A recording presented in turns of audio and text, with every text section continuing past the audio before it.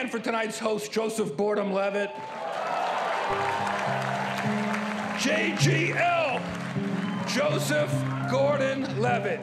The only three words more boring than gluten free cracker. Thanks for dressing up, Joseph. You look like a lesbian on the way to prom.